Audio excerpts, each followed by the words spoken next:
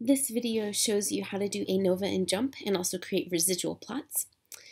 So when you're in JMP, you're going to go to File, Open, and then locate the files you downloaded from the publisher.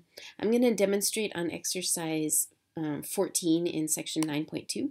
So I'm going to open this data set. Here's the data set. There's pressure, and then there's this variable ATFW, the response. So we want to treat pressure as categorical. So we can compare means between the different groups.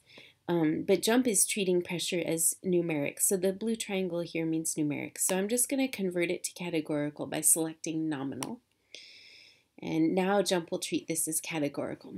Once you've done that, do analyze, fit y by x, and then drag your response variable to the y response box and your explanatory variable to the x factor box and click OK.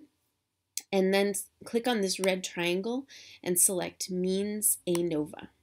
Here you get your ANOVA table and you get your means and standard errors.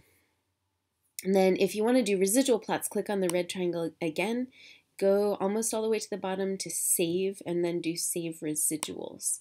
And those will appear as a new column, a new variable basically in the data set.